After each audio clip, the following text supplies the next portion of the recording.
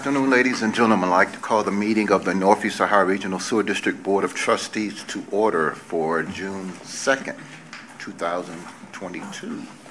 Ask the secretary, please call the roll.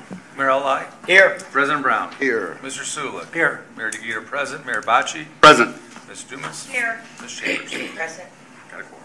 Thank you. Uh, Now I ask for the approval of the minutes from our May 19, 2022 meeting. So moved. Motion by Mayor Bocci, Second. by Ms. Dumas. Is there a question? There's no question. The minutes will stand approved as they are printed. Now ask uh, Madam CEO if anyone has signed up to speak during the public session portion of our agenda on a specific agenda topic. They have not, Mr. President. Okay, then we will have your report, please. Thank you, President Brown and members of the board. Good afternoon. Good afternoon. Beginning with COVID-19, we have two active cases among district employees and two employees with COVID-like symptoms. So this brings us to 220 confirmed cases since the beginning of the pandemic, with 218 folks recovered and returned to work. So as you know, beginning this year, we expanded the eligibility for our cost savings programs. These expansions included raising the eligibility from 200% of the federal poverty level to 250%, and then adding renters who pay their sewer and stormwater bills. Constance Haqq and her team also established a goal of 2,000 new accounts added each year to at least one of our cost-saving programs based on the gap that we know exists between those that are eligible and those that are actually participating in the program. So as we close the first quarter of 2022, we wanted to give you an update on where we stand against those goals, and then also specifically a report out from one of our first of six outreach events that we recently completed. So I'll turn to Constance to take us through that. Thank you, and good, good afternoon, um, President Brown and members of the board. So this will be the first quarter report on our cost-saving outreach and enrollment um, process, and you'll see some of the successes that we um, have had. Just to remind you of the of the six programs that we have available to our customers that allow them some cost savings. Um, these are they uh, homestead program, which allows for a 40% discount. Um, our affordability program, another 40% discount. Um, crisis assistance up to $300 per year, summer sprinkling, plumbing and sewer repair, and of course the regional stormwater management fee credits are, are fee credits are all um, opportunities for our customers to receive some savings on their bill. So the issues that we've been trying to resolve, the um, problem that we're trying to solve, is one the underutilization of our programs. Um, some are utilized more than others, but that is uh, what we were going after in this first quarter, really pushing hard to get more people enrolled in our programs. And also the issue of renters. Renters in our service area um, experience more poverty than homeowners, um, and most of our programs, except crisis, the crisis assistance program, had not been eligible um, for renters. And so we wanted to solve that problem as well. So here are some of our solutions, a couple that Kyle have mentioned already, um, and which surfaced in the rate study. One is to increase, we increased the um, threshold um, for uh, from 200% of the federal poverty level to 250% of the poverty le- level, making um, a family of four um, who makes about $60, $61,000 eligible for the program. So um, our rate consultants indicated that that would increase the number of eligible um, uh, neighbors of ours um, by 20,000 people. Um, the second, um, which Kyle also mentioned, was to uh, include renters who pay their sewer and water bill in our affordability program. That will increase another 220,000 people eligible in our service area. So those two adjustments alone um, make our programs eligible for about 40,000 additional customers. So that was uh, those were our first solutions. Secondly, we um, are increasing our outreach to potential customers. We have developed partnerships with other organizations.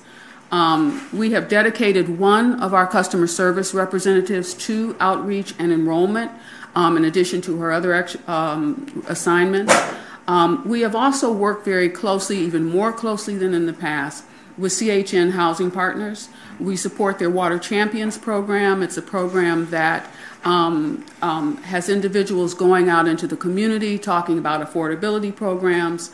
Um, and um, they particularly target libraries in our service area where they go, go on a regular basis and talk to customers. Um, we also, um, many of you know about the federal funding um, called LIHWAP, which is the Low Income Household Water Affordability Program. It's modeled after the LIHEAP program, which has been around for a long time. Um, so CHN and Step Forward are the two organizations in our community who are administering that program, and they've had some difficulty with staffing.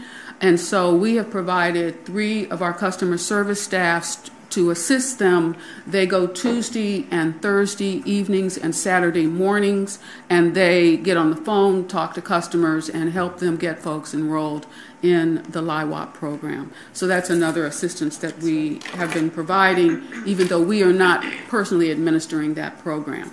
We also um, wanted to partner with the county, and this has been extremely successful. They have a um, homestead program also. This is for tax um, for low income homeowners. It provides them a discount on their tax bill. Well, their income requirements are very similar to ours. So we asked them for their list. They gave them eight, they gave us 80,000 um, folks to review. So that was a lot of fun for Ken's uh, staff. They went through. We pulled out our customers. We pulled out the customers who are already enrolled, and so we know specifically who um, could be eligible. And in batches of 5,000, we are sending out letters specifically to those individuals to say, "Hey, you're on the county homestead. You are very likely eligible for our program, and here's how you can sign up. We're trying to eliminate some of the barriers and going directly to people who we know are eligible. So we are waiting to see the outcome of that, and then we will do another 5,000 from that list um, as we work through. Um, we also scheduled are scheduling six utility resource fairs. These are not um, classic outreach events where you you know sign up, you have a table, people come in, you give them information. This is really where people can get signed up for programs, and I'll talk about our first one in just a moment. Um, we are continuing to include cost savings in all of our contacts. Our watershed team leaders, when they go out into the community, um, uh, our outreach staff, our educational outreach, all, we always talk about our cost saving opportunities when we have a touch point with our customers. Um, we also outreach to San Antonio Water and Sewer. They're like the gold standard of getting folks enrolled.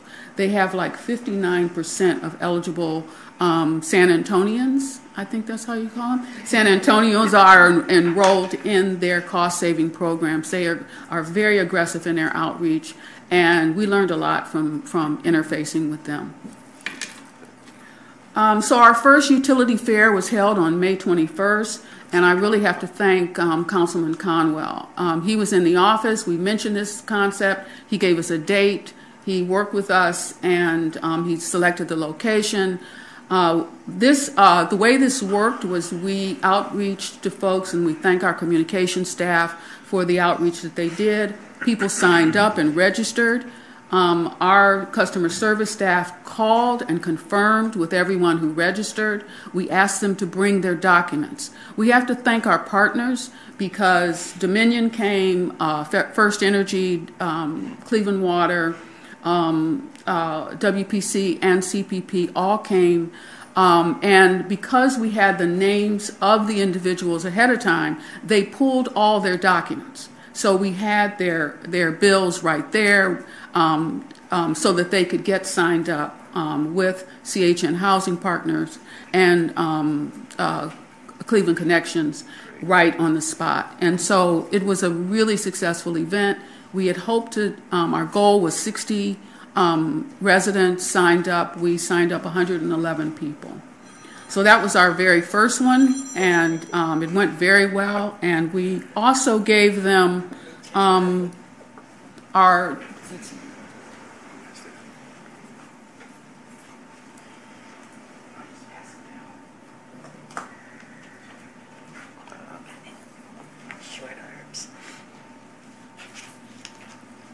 We also gave them this as a handout. It's a document holder, um, so people can put their information in. We have one for each of you. Um, you probably don't have your key documents in a cardboard box at home like some of us. Um, so you might want to, um, if you do, you might want to take one and, and use it. So it went extremely well. These are just some of the pictures from the event.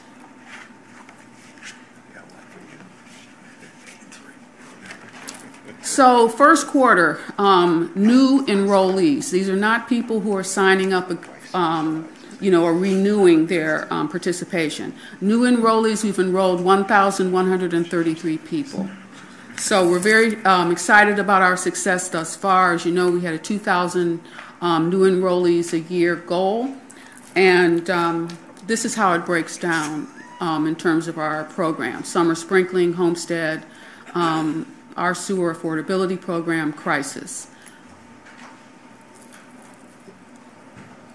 So upcoming, we have utility fairs scheduled in um, Councilman Starr, Ward 5's um, ward. Um, Councilwoman Santana and Councilwoman Spencer um, are combining, um, and they are doing a utility fair on the west side.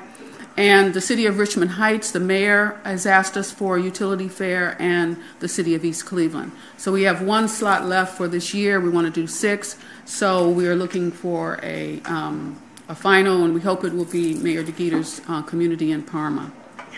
Um, we uh, the response we are looking for the response to the letters from that from the county's list and how that shakes out for us. Um, we're going to continue to track our progress and explore new partnerships. And uh, we're also working with CHN to increase the amount of documentation that people have to have in order to sign up, which is a major barrier for folks. So thank you very much, and I'd be happy to take questions. Question? Excellent program. Very good. Excellent progress. Thank you. Great, thank you very much. It's uh, exactly, that's more than we've talked about it. So, so it's great. It's good to see that you're also targeting areas that, that you know you have folks who are eligible Right. uh, for. So that, I think that's great. Um, I, I think maybe the ability to, um, perhaps as a, as a follow-up uh, at some point, as people get signed up, somehow message back to those communities uh, some of the benefits for, for the folks who have signed up, so those who are still straggling kind of hear that, oh, I could have gotten this, or I can still get this uh, if I'm eligible, so.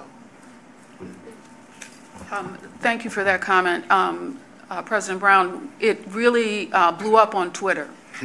And so people were, were, you know, contacting each other, and so we got a lot of um, buzz around. And I really want to thank the government affairs and customer service staff here, because they really worked hard on this um, effort to make it happen.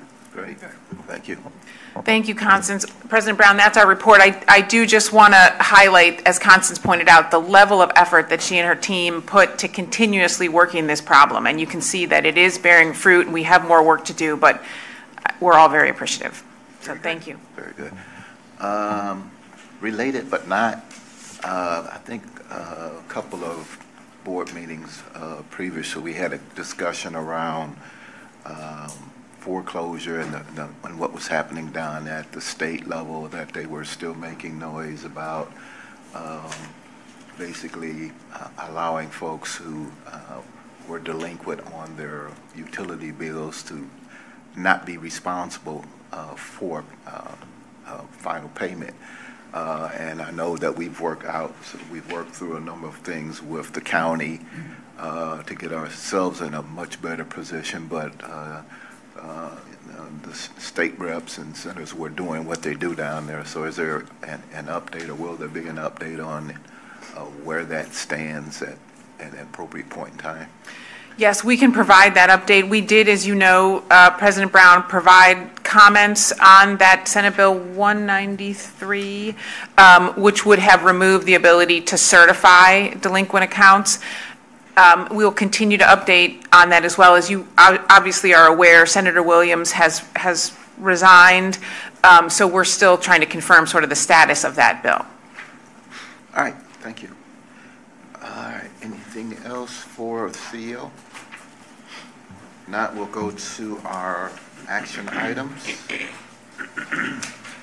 Okay, let's start with uh, authorization to advertise, uh, starting with authorization to publish notice calling for bids in accordance with Ohio Revised Code Section 6119.10 for the purchase of 10 vehicles.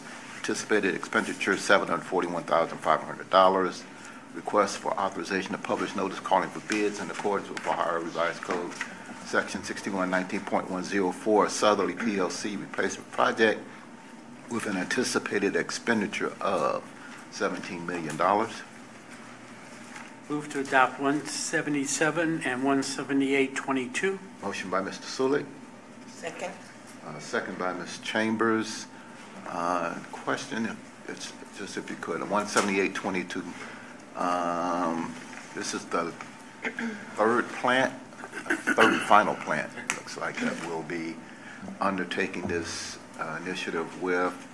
It is a three-year program, so it's going to take a little while for us to get through the plant, and then from there we go to, as I understand it, the collection system. So uh, that's a lot of spaghetti. And that one isn't even bad, believe it or not. Yes, President Brown, members of the board, um, this is the third of three planned under APM Phase 1, Phase 2. So Westerly was completed first, so that's completely done. Easterly just started construction back in April, and then um, the collection system will come after Southerly. I will point out, we do anticipate another one coming up here in the future. Um, As part of the Southerly PLC replacement, we did not include the ref facility. Um, That was intentional for a couple reasons. First of all, the PLCs in the ref facility did not reach the end of their useful life, but we also wanted to um, extend the contracts over a longer period of time, because obviously, this is the first of future ones, too. Obviously, these PLCs will not last forever, so it was intentional to spread those out over a longer period of time. Great, thank you. Uh, No other questions? Without objection, they're approved. Resolution 177 and 178-22. Thank you. Let's go authorization to issue requests for proposals, authorization to issue an RFP in accordance with Ohio Revised Code, Chapter 6119, to implement the 2023 Green Infrastructure Grants Program for the combined sewer area. So moved? Motion by Mayor Bocci, Second. second by Ms. Dumas. Uh, Question, just, uh, this is to go out for the communities to uh, submit uh, for the ability to uh, participate in the program at this point? That is correct. We have a slide to, to kind of show you the history. So this is a request for proposals. We want to get proposals from communities and other entities uh, that we will review. It's a competitive process. 1.5 million is in the, the budget for 2023. This is the history of the awards, both in how much we've awarded in green infrastructure grants, and projections on the reduction of stormwater getting into the combined sewer system. So to date, we're almost, we're approaching 11 million in grants and almost 33 million in stormwater removal. Anything you take out of a combined sewer system is, is a good thing from a capacity standpoint. So these are pretty, these are really great projects. 1.5 million for 2023. We instituted design-only uh, grants in 2022 to kind of tee up some of the entities in getting better uh, projects for construction, and we feel that's very beneficial, so we'll do that again in '23. All right, and then you mentioned to me uh, conversations we're having with the county. We are having conversations with the county. They like our green infrastructure program. I forget the amount, 1.1? $1 million tentatively slated to come to us from the county to do additional green infrastructure grants. We'll come to you with an agreement to accept those funds and get into an agreement with the county, and then we'll send out another request for proposals once we receive those funds. Okay, great, thank Thank you. No other question without objection, it's approved. Resolution 179-22. All right, let's go authorization to purchase. Uh, Starting with authorization to purchase Polychem metallic sludge collector replacement parts as needed from sole source vendor Pelton Environmental uh, Products necessary for the primary settling tanks used at easterly and southerly wastewater treatment plants in a total amount not to exceed $250,000. Request for authorization enter into a one-year agreement with sole source vendor OSIsoft LLC for software maintenance and support for district's process data management system, PDMS. Application for a period January 1, 2022 through May 31st, 2023, in amount not to exceed $64,350. Uh-oh. Do that. Okay, and then the request for authorization to purchase a three-year enterprise agreement with Dell Marketing LLP under the State of Ohio Cooperative Purchasing Program necessary for Microsoft Office 365 license subscriptions and Windows and SQL Server uh, software maintenance from July 1, 2022 through June 30, 2025, in an amount not to exceed $1,122,000. For adoptions of resolutions 180 through 18322. Second. Uh, Motion by Mayor Ali, second by Ms. Chambers. Question? No question, then without objection, they approve. Resolutions 180 through 182-22. Okay, let's go.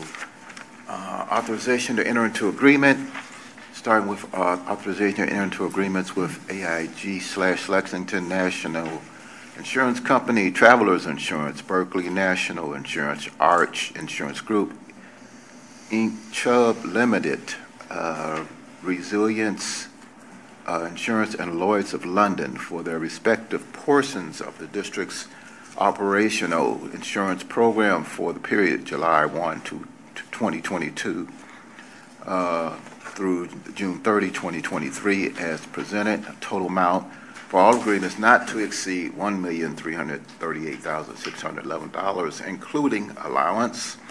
Request for author- authorization enter into an agreement with the City of Cleveland and the Cleveland Museum of Natural History's Green City Blue Lake Institute as fiscal agent to sponsor district-related projects, including an offering of 10 rain barrel workshops for homeowners led by participating uh, youth to be implemented under Mayor Justin M. Bibb's 2022 Youth Summer Employment Program, an amount not to exceed $20,000. Uh, And then finally, request authorization to enter into a one-year partnership agreement with Cuyahoga County Solid Waste District for its Cuyahoga Cuyahoga County Household Hazardous Waste Program to assist in the cost to collect and transport house- household hazardous waste in a total amount of $75,000. Move to adopt 183 through 18522. Motion by Mr. Sulik, Second. second by Ms. Dumas. Question, if, if you could, just on the 18322, this, um, these are insurances cover a number of areas of concern for us. So if you could just kind of briefly give us an overview of what this does for us, because there, there is, there are um, protections both for uh, staff, employees, and also the board uh, as it relates to um, uh, contracts and agreements, et cetera. So, Yeah, Yes. Uh, Good afternoon, President Brown, members of of the board. I'm going to ask uh, Shola Ojo, our Manager of Finance and Compliance, to give a brief presentation to outline the insurance program in general, as well as some specific discussion of this renewal. Uh, We also have uh, Julie Reed from our broker Willis here to help answer any questions the board may have. As Shola's coming up, I will just mention that this renewal was a little more smooth than prior years. We've seen some significant volatility, specifically in property, double-digit increases in recent years. This year, our, our total increase is about 6%. Um, So that's better than we've seen in recent years, but there are areas where it's higher and lower than that. So Shola? Um, Thank you, Ken. Good afternoon, President Brown and fellow board members. Good afternoon. I am here to go over the insurance renewal update. And we'll just provide some slides that kind of talks about the type of alliance that we have in the coverage and some increases that we saw in the total portfolio itself. So just a quick overview, our renewal period goes from July 1st to June 30th. So our current renewal period is going to end June 30th, um, 2022. And um, we also have our insurance broker, Willis Towers, here today. Julie Reed, she's with us today. And they really help us put our insurance program together. So basically, they have three main activities that they help us with, which is to first help us procure insurance, and um, secondly, to also provide us with market updates and trends that are going on in the market, and um, also to help us with administrative duties that we might see during the renewal period. So currently, we are we're in the four-year four-year agreement of a six-year agreement with the with Willis on the board authority 348-18. So we should be going up for um, a renewal with the with our broker in the in 2024. So before we start our process, we have what we call renewal activities. So those activities actually go out throughout the entire year, and we kind of break them out by a quarterly approach. That's true. So our in the first quarter of the year, which is January, February, March, we do our kickoff, which we uh, we meet with Willis, our insurance broker, finance, to kind of discuss what the market is looking like and what the expectations are going to be for the year. And then, based on those conversations, we do what we have the renewal strategy. So the strategy could be focused on okay, maybe we should focus on a particular line rather than focusing on the entire portfolio and to kind of make sure we can get the best premium we can get on the market. So for us, for this renewal period, our main focus was cyber, just because of all the activities going on with cyber mm-hmm. insurance and the ransomware in the just throughout the entire country. So we focused a lot on the cyber insurance renewal, make sure we went out to market to try to engage as much vendor as we could. So once we go through our renewal strategy, then we have we always go out to actually see what's, what the market is looking like. So they go ahead and do their pre-activities, and then from there we start filling out the various application and data collection that we want to send out to the to the vendors to kind of take a look at our program itself in the district. So that's what we do in the first quarter. Then in the second quarter, we submit our application and the information to the to the market, hopefully with a focus that they would then give us some quotes on basically what they are seeing and now we are doing with our own portfolio as well. So once we get through the quotes, we meet with the C-suites to talk to them about what we saw in the market, what the trending was looking like throughout the whole period of talking to various vendors, and the appetite for our insurance program. Mm-hmm. So we meet with the executive team, we discuss with them what we saw, and then we then come for approval to the board to get a approval for the renewal period, which is what we're doing today. So after we go through the um, approval of the insurance renewal, then we go into the third quarter, making sure that we actually pay for all the premiums that we got. And then we also get our binding agreements from the insurance vendors just to let us know what our policies are looking like based on our limits and the retention that we have as well. And then we do a little bit of audit because when we send them the information to get the data collection, for example, they ask us how many employees do we have at the district. So at that time, the data could change based on people leaving, retiring, or termination. And then we update that information because that can change our premium price as well. So we do that audit, make sure everything is set with the with the vendors, get them paid, and then in the fourth quarter we have what we call a loss control site visits, particularly with with AIG so that visit from AIG is really for them to come to our facilities to see how we're doing in the facilities as far as the safety measures that we're taking in the facilities. So their focus is usually on the fire suppression system. So they looked at, okay, hey, you guys have these controls in place. Therefore, that will also impact the premium that we pay in the next renewal activity. And what they also do is provide to us some recommendations of what we can improve on. So we meet with our um, our facilities managers to discuss those improvements as well, and then we try to see if we can actually implement those recommendations. So we don't only do that for property. As we go through the slide, we'll also talk about the IT-related activities we do for cyber as well. So once we get through the renewal, we do have things that are all year activity based, such as incidents and claims reporting. So we do have incidents that happen, such as MVM, so motor vehicle um, collision and stuff like that. So when those incidents do happen, we do have to report the claims to the to the insurance company, hopefully for them to help us with the process and to maybe get some um, reduction on the expenses for an MVA crash that we might have had. Also, we also pay attention to what's going on in the market throughout the year just because there's a lot of volatility that does happen. For example, with cyber, we saw 100% increase in cyber this year. So we want to make sure we're up to date.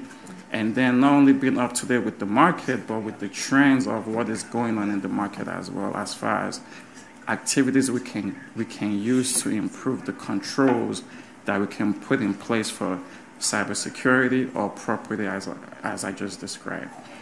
The other thing we, we tend to make sure we do is to have risk assessment meetings with the different departments to kind of talk about what risk area we're looking at, and then also site visits as well for maybe looking at our equipment to make sure that those equipments are up to date and they are working properly as well too. So the next few, few slides, we're just going to go through all the different line of coverages that we have. We kind we have an extensive line of coverages to make sure that we're protected with the insurance um, portfolio that we have. So we'll start with the first main one, which is the general liability.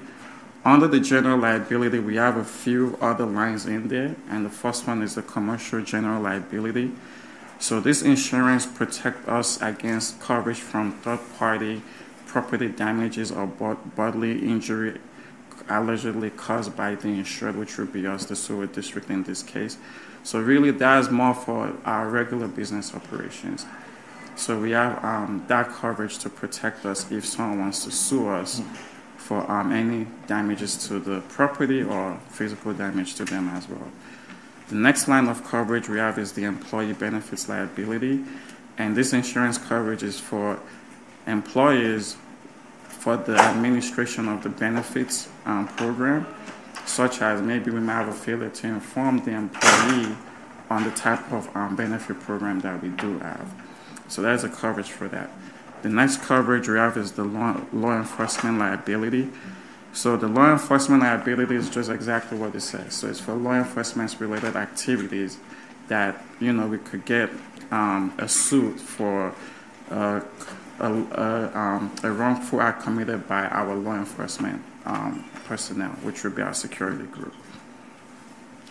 And then we also have the public entity management liability. So this is more for protection for the executive team and the boards in case if they have any um, lawsuit that comes from that. Then the next one we have is the employee entertainment employment related practice liability. And this is related to any various um, employment related lawsuits from wrongful termination, discrimination, workplace harassment, or retaliation in the, in the workplace. And finally, under the general liability, we have the stopgap so the stopgap provides employees liability coverage against claims of negligence and protects employer from being held liable for working injury or illness. So this is more tied to workers' compensation. So for example, if an employee gets injured in the job and they decided that oh, we were negligent on protecting them, then we have this coverage to protect us against that as well. The next one is our business auto premium. Again, this is something that everyone is familiar with, which is auto insurance.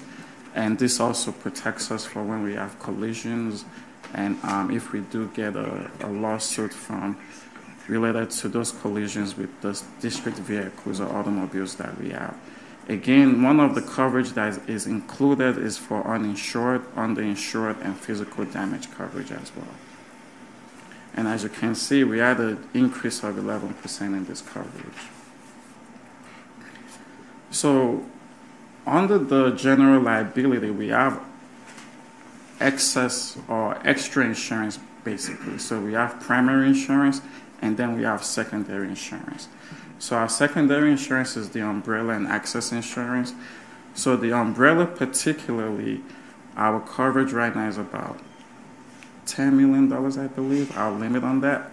So this covers large unexpected events that can have a devastating impact on business, brand reputation, and financial stability.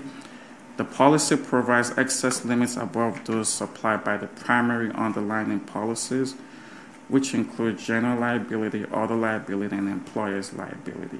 And we'll show you a total scheme of how this all comes together on the last slide so you can see how the insurance portfolio does work with the district. The other extra coverage or secondary coverage we have is the excess liability. So this serves as an extra layer of protection for losses in excess of primary and umbrella policy limits, but does not provide broader coverage under those underlying policies. So for example, with the umbrella, you could get extra coverage that you don't have in your policy, in your primary policy to protect you, but the excess doesn't do that. It's an excess on the primary and the umbrella as well. So in total, our casualty or general liability, what is expiring right now is about $370,000.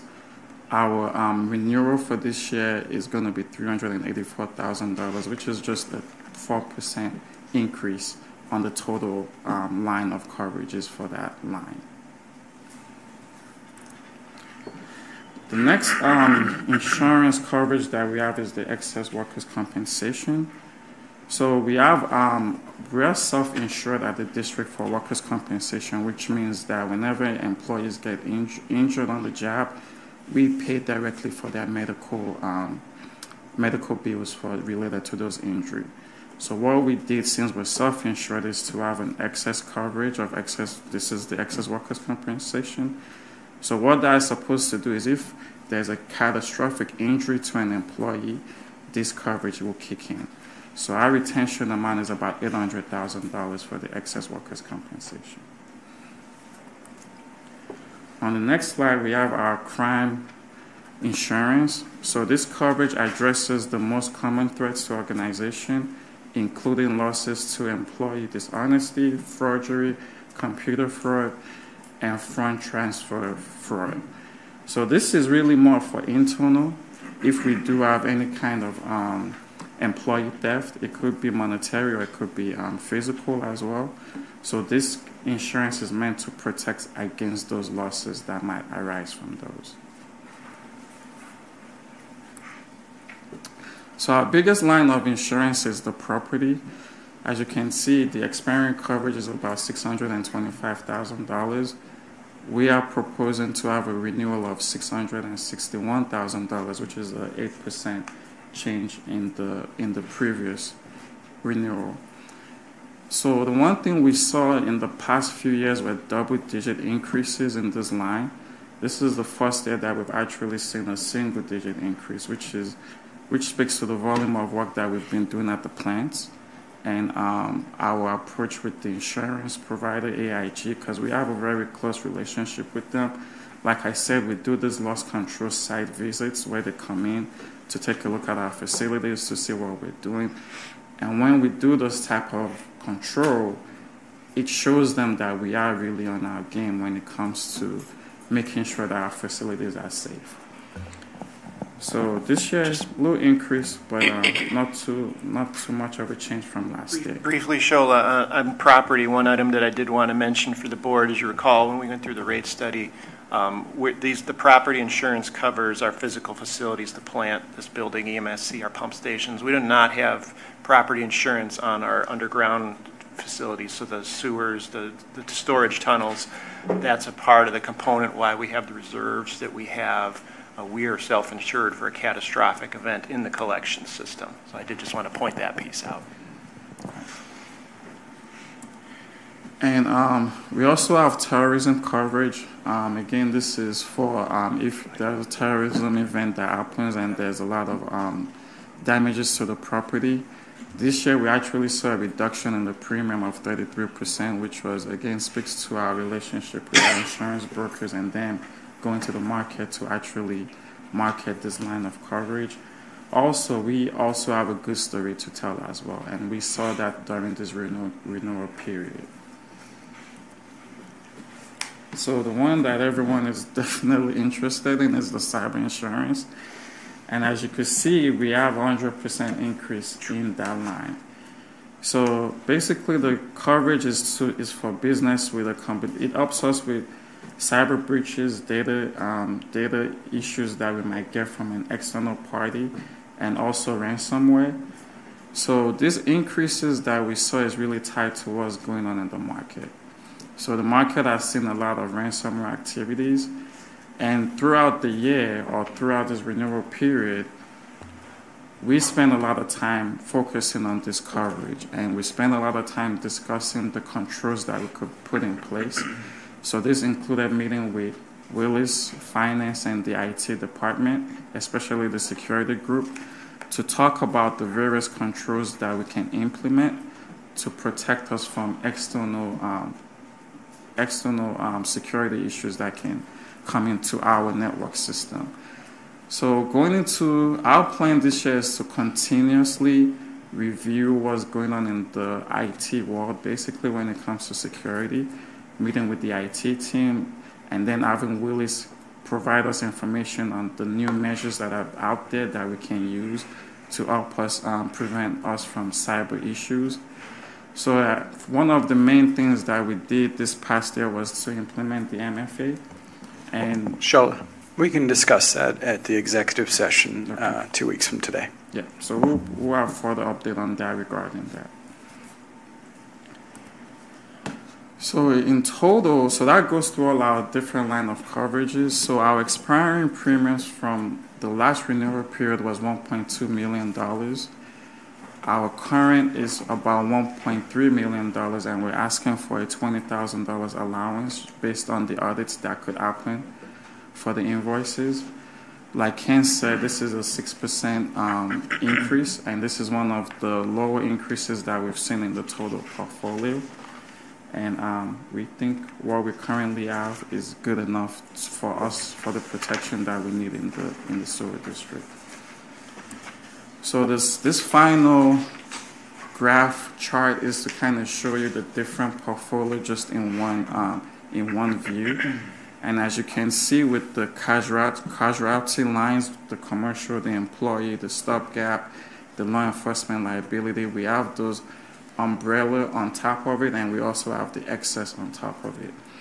For cyber, for cyber, we also have excess cyber liability, so we have a primary coverage, we have an excess coverage to help us um, protect to increase our limits. So, for example, our total limit for the cyber is about two million dollars.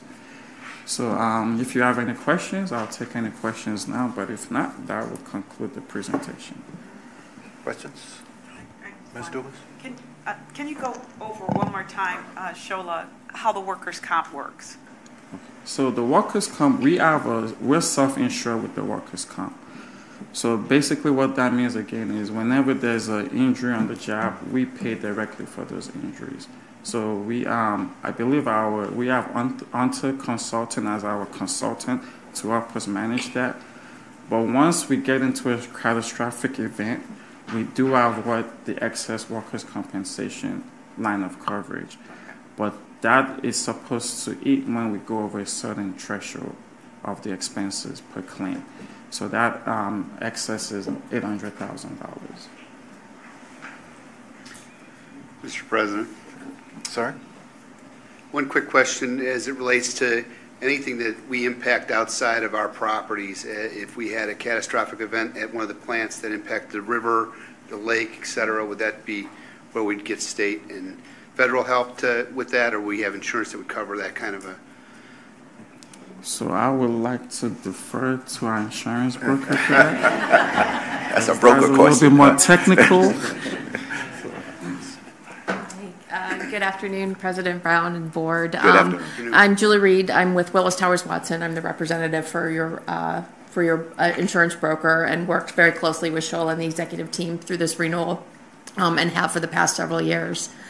Um, Currently, the district does not purchase independent pollution liability coverage. It is something that we have talked about in the past um, for different risks that are potential for the district. Um, So you would right now need to look for um, state and/or federal help if there were to be an environmental impact um, from a result of an event. Typically, that is not covered under a standard liability or property, po- excuse me, policy. Super, thank you very much. Sure. Any Is other questions I can address? reserve activity? Yes. Ms. Stevens.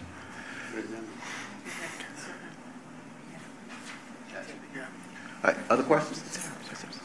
All right, thank you very much. Thank you. All right, uh, that said, then without objection, those resolutions are approved. Resolutions 183 through 185-22. Uh, Let's go authorization, enter into contract, authorization, to enter into a three-year requirement contract with Smith and Oby Service Company under the State of Ohio Cooperative Purchasing Program necessary for HVAC slash uh, repairs as needed, preventive maintenance at all district facilities in amount not to exceed one million six hundred thousand dollars. Also request for authorization to enter into a requirement contract with Unistrut Service Company for purchase of rooftop fall pre- prevention equipment in an amount not to exceed $200,000. Move to adopt 186 through 187, 22. Motion by Ms. Dumas. Second. Second by Mayor Bocci. Question? Question without objection, they approve. Resolution 186 and 187-22. Thank you. Let's go authorization to amend agreement, starting with with authorization to amend 2022 Watershed Partners Service Agreement Number 220, uh, 22001-410. Let's do it that way. With the Rocky River Watershed Council to add the Cuyahoga Soil and Water Conservation District as the fiscal agent under the agreement. Uh, Request for authorization to amend agreement number 1900455 for the Office 365 and Windows SQL server licenses under State of Ohio Cooperative Purchasing Program necessary for licensing true up by increasing the agreement amount by $442,029 uh, dollars and thirty-six cents, thereby bringing the total agreement amount not to exceed one million two hundred thirty-two thousand twenty-nine dollars and thirty-six cents. Also requests for uh, authorizing final adjusting change order for design build agreement number one nine zero zero five two six seven with Cold Harbor Building Company for southerly miscellaneous disinfection and solids handling improvements project by decreasing the agreement amount by one million one hundred ninety-two thousand six hundred eighty-two dollars and twenty-one cents, thereby bringing the total agreement amount to four million two hundred nine thousand seven hundred sixty-seven dollars and ninety-two cents. Move to adopt. Motion by Ms. Chambers, Second. second by uh, Mayor Eli. Question? Question without objection, they approve. Resolution 188 through 190-22. Thank you. All right, uh, let's go to property-related transaction, and this is uh, authorization to acquire one parcel in fee simple known as parcel number 76116 012 located at 4238 Cricket Lane, City of Warrensville Heights, owned by Rev- Revine W. Gunn, uh, necessary for construction and maintenance of Mill Creek restoration near Cricket Lane and Warrensville Heights project to enter into a lease agreement with Ravine W. Gunn, and two, allow the entirety of the payment to be dispersed to Ohio Real Title Agency LLC with uh, total consideration of $100,000 plus closing costs. So moved. Motion uh, by Mayor Bocci, Second. second uh, by Mr. Sulik. Question? There's no question without objection. It's approved. Resolution 191-22. All right, Hearing officer finding and recommendations. Adopting the findings of the hearing officer with regard to the sewer account of Omobola Giad Iola Dilu. Sewer District Hearing Number 22006, that the customer, the customer's request be denied. Move for adoption of Resolution 192-22. Motion by Mayor Lai. Second. I'll take Ms. Dumas as a second. Uh, Question? No question, then without objection, it is approved. Resolution 192-22. Thank you very much. That was a test. Okay, let's go to, uh, that completes the action items. Let's go with information items. We have information technology update. Good afternoon, President Brown, members of the board. Good afternoon. So this is the June 2022 update uh, for IT. I'm going to go over select IT projects for the year, uh, a little review of information security, um, some look at IT service performance, process improvements, and some metrics. So one of the bigger projects we have going on this year is the Oracle EBS upgrade. We are currently at version 12.1. Uh, we implemented version 12.1 in 2013, and uh, we had one large roll up patch in 2016, so we've got a lot of life out of this particular version. The version we're going to is 12.2. It is guaranteed to be supported to 2031. So, barring any changes in our business needs, uh, we shouldn't be forced off of this version for quite some time. It also comes with a, a good deal of enhancements. Um, the support for 12.1 ended in December of 2021. However, we are covered because we have the licensing for 12.2. This project will run through the end of the year. Some of the benefits of the Oracle EBS upgrade, we're going to have a new suite of enterprise command centers. These are dashboards. They're built in, they're pre-configured. And we have dashboards in our Oracle Analytics Cloud. The difference is we have to build those dashboards and we have to configure those reports. These are already pre-built and they are in the application so you can drill all the way down to like an invoice document level. So it should help uh, the department quite a bit. It will eliminate some manual interfaces and enhance uh, file automation, taking out human error in some cases. And all of the modules get some additional functionalities, iProcurement, iSupplier, accounts payable, and we've been working with purchasing in the finance department to define what those new capabilities are and, and what they need. It also comes with a new online patching feature. Uh, before we'd have to take the system down and make it unavailable and apply the patches and test. Uh, now we will be able to apply the patches while the system's up and running, so that will reduce downtime. And it has a new uh, configuration diagnostics feature that will allow you to check at a glance that you are configured in a secure fashion and uh, not allow any openings into the system that could be vulnerabilities. The new version also includes iPad support, and with the proliferation of iPads throughout the district, uh, that's a good thing, so it should help out considerably. Last year, I talked about a project called GAR. It was the Gauge Adjusted Rainfall Radar. Uh, this is owned by George Remus. He does some very interesting things collecting data about rainfall. Um, and so we, the IT department is supporting him by adding several attributes to the database so that he can query them better. Uh, improvements to the summary reports, additional reports, and um, we continue to update monthly rainfall data. So this, this uh, actually, I'll go over it in the next uh, next slide. This looks a little busy, but uh, but there's a lot of interesting stuff on here. If you look at across the top, you see things like grid name, communities, uh, subwatershed, watershed. Those are the those attributes that we've added to the system so that he can filter on, on those to bring up reports. In this case, this report, they specified the community Parma. So this is all Parma data. Uh, and these are all grids. There are 3,410 one by one kilometer grids across our service area. And this is sort of a heat map. So he look, we are looking at the peak one hour rainfall on July 5th of 2019, because that's the time frame we specified. And we, we sorted it up. So, so that top grid there uh, had almost three inches in a one hour span, which was equivalent to a 200 year event. So you can see the power of this. You can specify a time frame, you can sort it by community, by watershed, by interceptor, everything, and you can see exactly what's going on. So um, the, all this data comes from 51 rain gauges, 30 of which are owned by the district. The others are owned by other municipalities and the airport and some other things, for a total of 51. Those rain gauges are then, um, we look at the weather radar and we extrapolate into these one kilometer by one kilometer uh, uh, grids. So a lot of interesting information.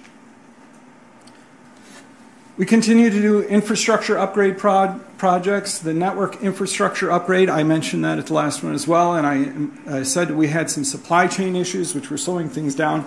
Supply chain issues continue to be an issue. However, we have received a good deal of, of material for a couple of the plants, so we're, we are implementing that. This is the replacement of network equipment that is out of date and needs to be replaced to keep us up to date. Another large project is the SAN replacement, Storage Area Network. This is the equipment that stores our, all our files. We have two big SANs, one here at GJM and one at EMSC. The one here holds 200 terabytes. A terabyte is about 6.5 million printed pages. Um, so that device holds, uh, you know, a lot of printed pages. it's the equivalent to about 260,000 filing cabinets worth of information. Of course, the data is in there. That's in there is databases, all kinds of other, other things. But it's a lot of data to move around, a lot of data to back up, we implemented that SAN in May of 2009, so we've gotten two, 13 years out of it, uh, which is very good. But we've picked the vendor uh, that's going to do the replacement. We'll replace the one at GJM and EMSC. We continue infrastructure upgrades like VMware, which is our virtual uh, software environment, virtual servers, and selected small conference room upgrades to improve connectivity, make people be able to attend virtually, put cameras in the room, uh, Honeywell systems so that people can talk back and forth to remote locations um, as requested and where it, where it makes sense. Uh, we've been building some applications for overtime uh, for a number of the departments. Ma maintenance services, fleet services, and SSMO are already using the application. We are improving it and making enhancements in reporting. And we just completed a POC for the Southerly Maintenance Group, and they had a lot of suggestions. Uh, we did do the POC, so we are moving down that road as well. Some future projects, we're working with our uh, new HR director about uh, case management and performance management implementation within our UKG system. And we continue to look to implement the electronic bidding system uh, to remove that from being a manual process. Information security is an ongoing activity. Uh, the group, which is interdepartmental and has representation from almost, almost everywhere across the district, continues to draft policies uh, and refine processes and uh, make recommendations for the annual training for all of the staff at the district it's, it's different. If you're in finance, you're going to have a different set of training than if you're in SSMO. It depends on your exposure to sensitive data and your access. Uh, the deadline for the completing that training is June 30th, so we are, we are sending reminders out, but I'm confident we'll have that training completed. We continue to update the IT incidents and response and disaster recovery plans. We made a lot of progress so far conducting business impact analysis and uh, documenting where things are. So we're trying to button up the gaps and make sure that the business's expectations about what we, we can re recover and how fast we can recover it meets the, the capabilities of IT. Um, we, I mentioned when Shola was speaking that uh, at the next board meeting and executive session, we're going to provide an update to security the, and it will be an in-depth uh, discussion about all the technologies we use, where we're at, any exposures, et cetera. So um, look forward to that. Uh, Incident service requests. Um, All I'm going to say about this, the top is the monthly chart, the bottom is yearly. We have seen year over year increases in the number of annual cases that the help desk is handling. We'll have to see uh, at the end of the year how 2022 shapes up. Uh, It looks like we're on track for the same kind of volume. As far as process improvements go, this is the this dashboard is the change control dashboard. One of the major improvements we made here is that we added a subtask to every change control item. That subtask calls for the manager of the group that made the change to go back and review the change after the change has been completed. In addition, and that's documented. In addition to that, quarterly, five IT managers and myself review, review all of the, the changes that have occurred in that quarter and sign off on them and make sure that they made sense. So uh, this was an audit recommendation, and uh, it's been implemented. Uh, customer service satisfaction. If you'll recall, our Cherwell system, which is our, our, I just showed you the graph of how many tickets we have. Every ticket that goes out, we follow up with a survey and we measure certain areas. Our, my personal target was to be always above, above 4.85 uh, out of 5 for our customer satisfaction. Uh, we've gone up a little bit. We're at 4.97. So um, this re reflects the work of not just the service desk, but, but the rest of the IT team since they all handle tickets. Well, that concludes my presentation. I'll be happy to answer any questions. Questions? No. Thank you for your presentation, sir. Great. All right. That takes care of our information item. Anything for open session? No. Uh, Madam CEO, has anybody signed up for the public session portion of our agenda to speak on any subject matter? They have not, Mr. President. Thank you. Then we have no matter for executive session? No, sir, Mr. President, we do not. Then that completes our agenda for the day, and I am willing to entertain a motion to adjourn. I'll make that motion, Mr. President. Second. Motion by Mayor Bocci, second by Ms. Dumas. If there are no objections, we are adjourned. Thank you.